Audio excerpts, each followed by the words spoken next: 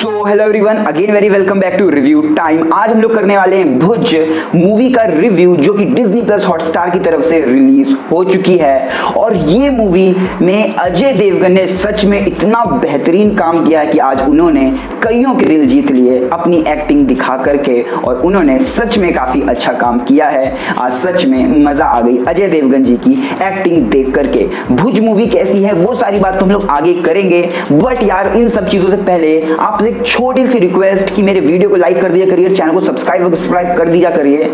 यार, हम लोग इतनी मेहनत करते हैं आपके लिए, सबसे जेनविन और सबसे फास्ट रिव्यूज़ लेकर के आते हैं। इतना काम तो बनता ही है ना। चलिए, अब हम लोग चलते हैं भुज मूवी के रिव्यू के ऊपर। तो भुज कहानी है स्क्वाड्रन लीडर विजय की। विजय हमारा यहाँ पे प्रोटैगनिस्ट है।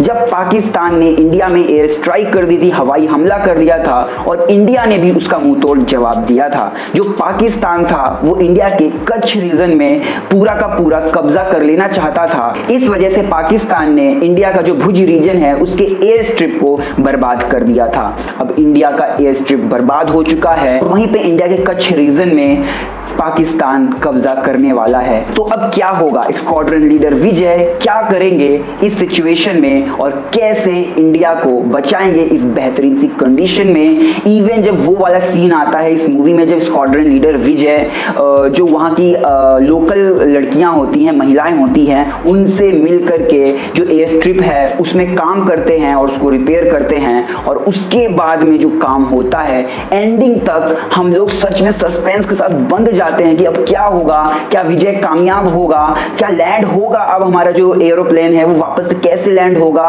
क्या होगा? मतलब लिटरली मूवी इतनी बेहतरीन तरीके से लिखी गई है, जो सस्पेंस है, वो हमारे साथ बंधा रहता है और हम लोग उसमें खो गए होते हैं कि हम एक मूवी देख रहे हैं कि हम रियलिटी देख रहे हैं। यहाँ पर इस मूवी का स्क्रीन प्ले इतना तगड़ा है। मूवी में इंडिया वर्सेस पाकिस्तान भी है, जो हमारी फीलिंग्स को भी इवोक करता है। इंडिया में पूरा एयरफोर्स का सिस्टम भी दिखाया गया है और इंडिया और पाकिस्तान का जो एयर का हमला है एयरफोर्स हमला है, उसको भी बहुत अच्छे से एक्सप्लोर किया गया है। मुझे नहीं लगता आज से पहले मैंने बॉलीवुड की कोई ऐसी मूवी देखी जिसमें दो देशों के एयरफोर्स के बीच में लड़ाई हो रही हो।